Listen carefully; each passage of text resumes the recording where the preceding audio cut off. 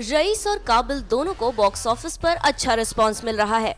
दोनों box office पर ज़बरदस्त कमाई भी कर रही है और दोनों को ऑडियंस के अच्छे रिव्यू भी मिल रहे हैं।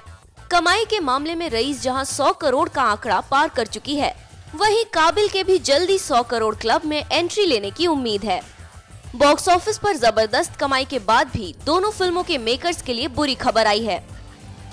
और ये खबर ये है कि इन दोनों फ़िल्मों की 200 करोड़ के क्लब में पहुँचने की उम्मीद काफ़ी कम है।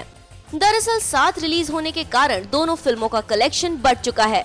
ऐसे में माना जा रहा है कि रईस का कलेक्शन 170 करोड़ जबकि काबिल का 150 करोड़ तक ही पहुँच सकता है। हालाँकि अभी जिस तरह से दोनों फ़िल्में बिज़नेस कर रही हैं, दोनों की टोटल कमाई का अंदाज़ा लगाना सही नहीं होगा।